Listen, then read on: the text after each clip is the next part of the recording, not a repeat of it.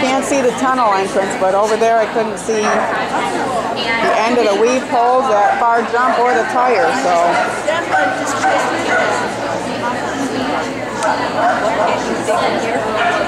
The tunnel entrance. It's not a big deal. I'd rather miss that than